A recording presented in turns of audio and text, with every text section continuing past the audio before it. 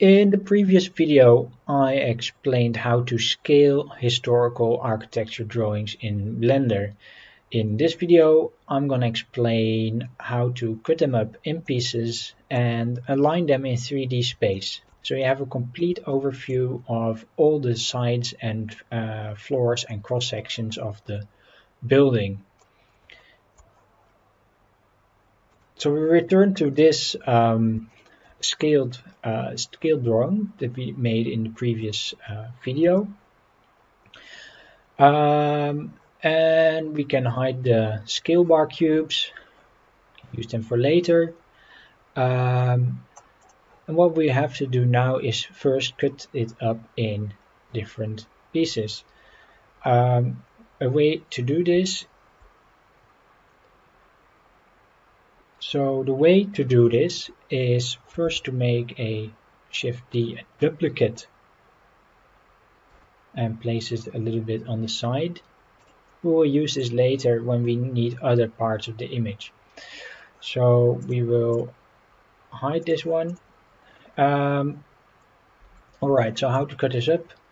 Well, um, when you go into edit mode by hitting tab and then go to edge select mode I hit 2 on the keyboard to select edge select mode. Uh, and when I want to move these edges X Y to kind of cut a part of the image it's not possible. However I hit escape. Um, there's another function that is activated as soon as you hit G twice. So I hit G not once but twice. And then you move into uh, vertex sliding mode. And basically what it does, it slides the vertices uh, along the edges.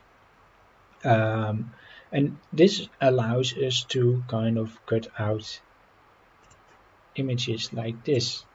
I hit the, bow, the top part as well. And I go out of edit mode and in this case I do shift D.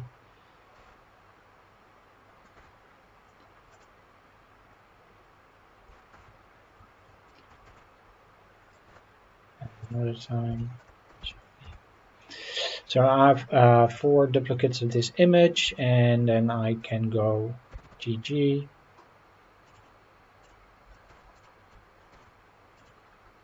GG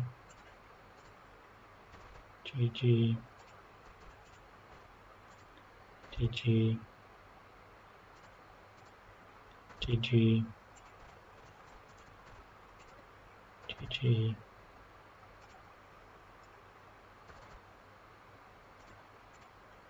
GG okay. And we can turn on this one again. Um, so basically what you have to do is the same trick um, all the time you make sure that you have one complete one uh, in store that you can always use as a basis to for next uh, cutout so for instance I'm going to use this one to get the front and the back. So when you're finished you have something like this uh, all separate parts of the drawing cut out. Um, so the first thing I'd advise you to do is to recenter um, their origin. So now every part has a different origin. As you can see here of this part of the drawing, the origin is uh, way out of its uh, geometry because it all used the origin of the original drawing that origin there in the middle. So we want to recenter it, so we select it, uh, right mouse button, and then um, set origin to center of mass surface. So now everything has an origin again in its center.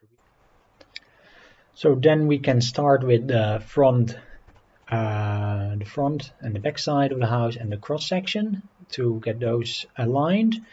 Um, well, we can first start by rotating them. So in this case, we have to make sure that individual origins is selected as, as point of rotation. So I do R, Y, no, not Y. I don't want to rotate on the Y, but on the X and hit 90 degrees.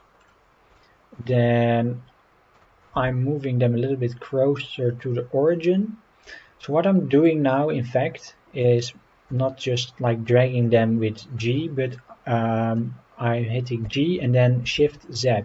And that will make sure it doesn't move up and down uh, and that the images stay on the same elevation, but they are moved in the XY plane, basically.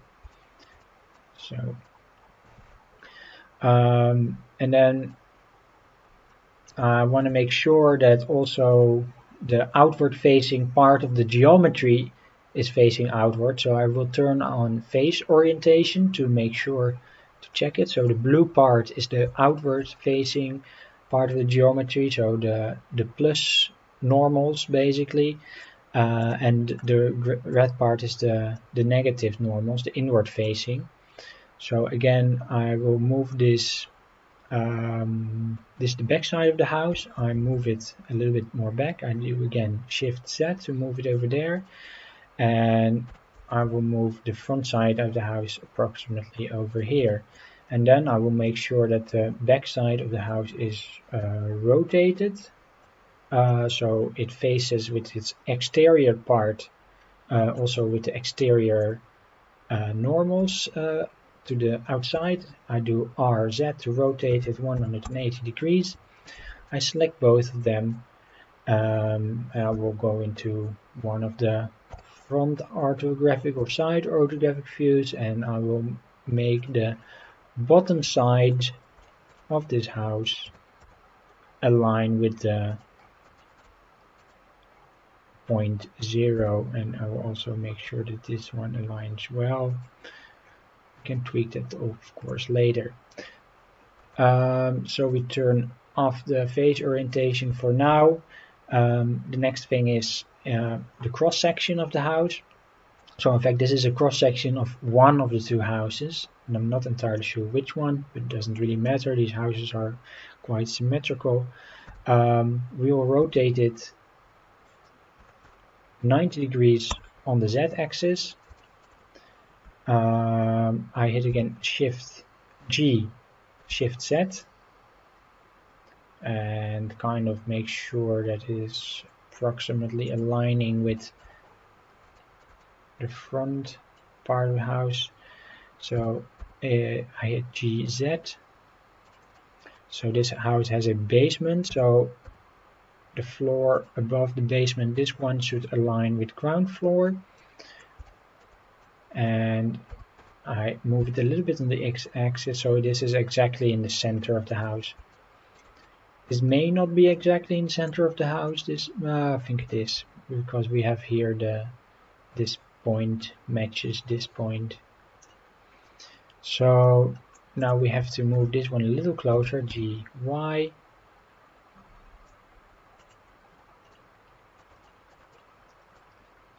like this right and now we can place each individual floor so this is also usually the moment that you discover whether the draftsman uh, had been accurate sometimes you will find that the floor plans or the one of the frontal uh, views or the cross section don't line up very well they're of slightly different scale, for instance. That happens sometimes, and then you have to choose which one is the more accurate. And that's all part of the process of a historical 3D reconstruction with all the inaccuracies that come with it. So I get the next one, I hit G, Shift Z to move it on the base. So I will try to line this up as close as possible with yeah all right. This so this is the plan of the foundations. So we go all the way over here. So it should stay here. So this is the plan.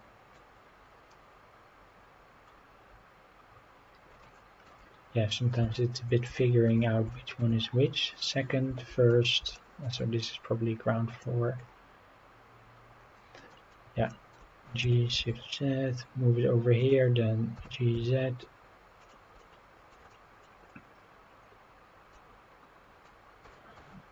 this is ground floor G shift Z. Match this line hold shift for precise or small movements so you see here there's a deviation between uh, plan and um, plan and front view. And that's totally okay and acceptable. Um, and this is first floor G shift Z. It's not totally okay and acceptable. It is um, expected. This is all handwork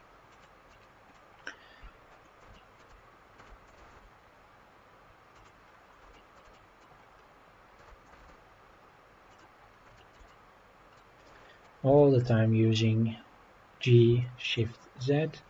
Of course you can also use only one direction all the time to place them. So for instance we're going to do this with uh, next floor. So you can use G Y to kind of move it over there and then G X to move it over there and then G Z to move it over there. And now go in and move it more precisely GZ, GY, GX. This line align. So that's another way working with it. So third floor, G, I prefer this way, it's faster. GZ. Z, G shift Z, hold shift for accurate, precise movement, G shift Z, yeah, okay, get this one.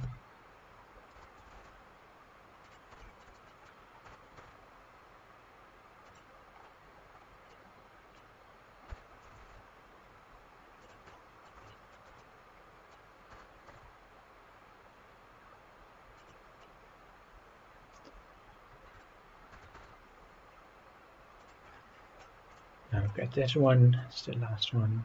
G, oh no, not entirely. The last one of the floor. So this is basically a drawing of the attic or the way that, yeah. The beam construction used over there.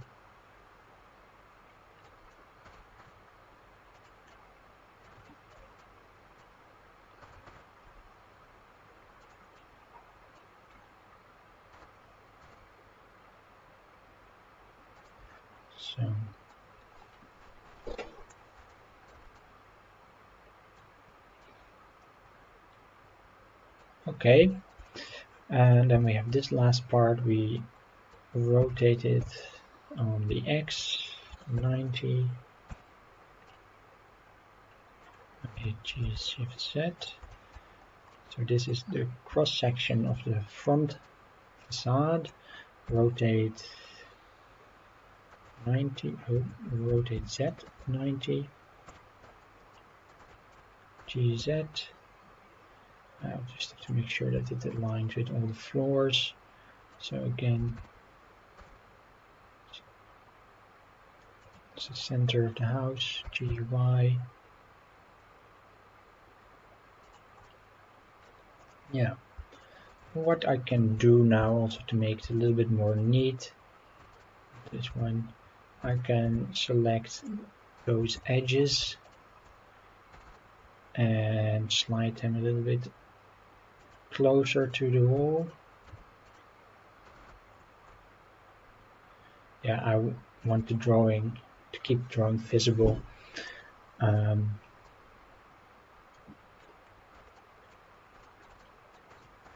yeah, but this is basically it. The scale drawing cut up in its different parts and then uh, positioned and aligned to each other.